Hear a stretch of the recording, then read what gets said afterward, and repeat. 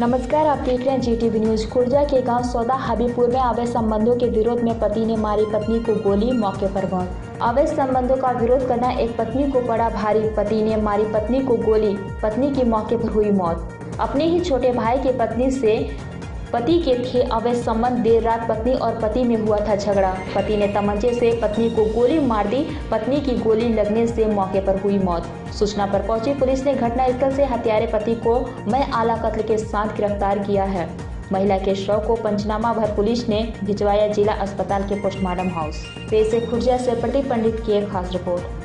भाई क्या नाम है आपका? रामवती। आपकी कौन लगती है? लड़की मेरी। क्या हुआ उसके भाई की घर बारी बातें लग रहा। हम्म। आपस में उनमें टेंशन हुआ उस वजह से वो हमें गोली मार दी। मौके पे पुलिस आ गई।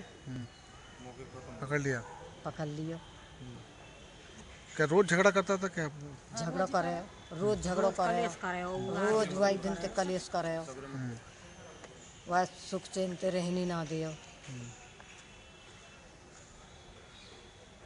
कहाँ नौकरी करता था? की करे गार्ड की। गार्ड की। अब क्या नाम है आपका? विजेंद्र सिंह। विजेंद्र जी मृतक कौन है आपकी? मृतक से साली है हमारी। क्या घटना हुई है? ये गोली से मार दी गई। किसने मारा?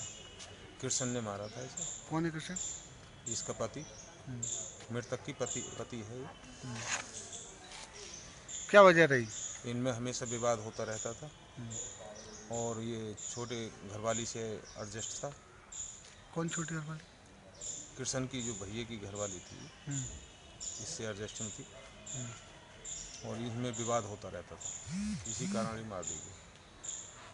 कल झगड़ा हुआ है आपस में? हाँ झगड़ा होता रहता कभी क्या करता है मृतक का पति? ये गार्ड की नौकरी करता था फ़िलहाल नहीं कर रहा।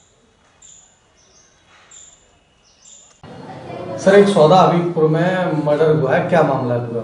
हाँ रात ग्राम सौदा हबीबपुर में सविता नाम की महिला जिसकी उम्र लगभग पैंतीस वर्ष है उसके पति ने उसको गोली मार के उसकी हत्या कर दी। प्राप्त जानकारी के अनुसार घरेलू विवाद कारण बताया जा रहा है बाकी विवेचना का है। पीएम के लिए सबको भेज दिया गया रात में मुकदमा लिख दिया गया है। क्या सर पति को हिरासत में ले लिया या फरार? है नहीं पति हिरासत में है। वो जेल भेज दिया जाएगा